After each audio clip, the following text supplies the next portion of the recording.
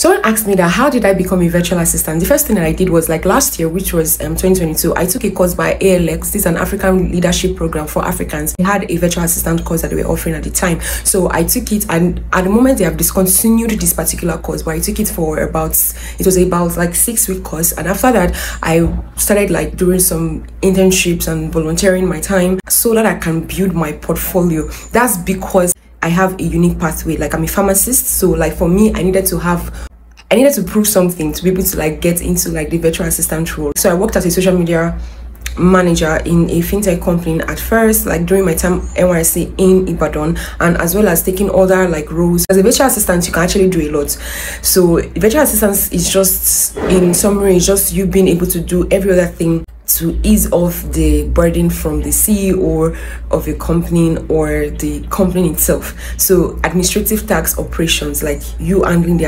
administrative part of a company. So that's basically it in summary. Anyway, um, if you want more, let me know. All right, see you. I need to go for a walk, so I just thought I should do this ASAP. Bye.